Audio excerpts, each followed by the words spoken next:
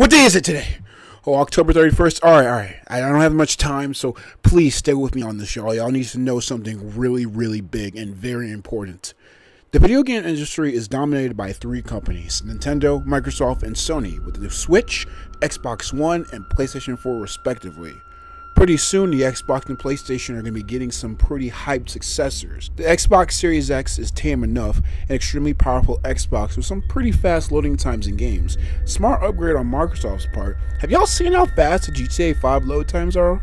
The new PlayStation, on the other hand, See, when it comes to the PlayStation 1 and the PlayStation 2, they were pretty much babies in the industry.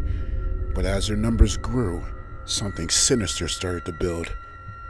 With the launch of the PlayStation 3, gamers around the world could see that something was up. Something was different this time. And no, it wasn't that they had Blu ray disc support or the controller was actually originally a boomerang, but something else that seemed like something was off this time. It also looked like a sub.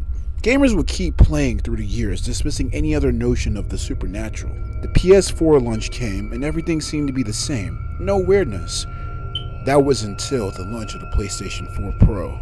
This sandwich is responsible for Sony's true intention in the gaming industry to slip through the cracks.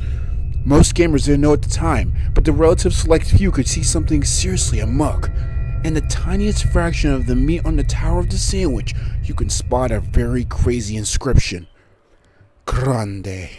Now, at first glance, it's hard to tell, but this is the message that Sony inscribed to inform players of the tragedy that would soon come. 2020 comes and Sony announces their new console. The controller is revealed in a relatively simple and clean fashion. However, the console itself was kept under wraps for a long time. And why was this? Why did Sony have the need to keep the secret of the hardware design of the new system for so long? Was it the competition? COVID 19? Hype? No. Ladies and gentlemen, it is far far, far worse than that.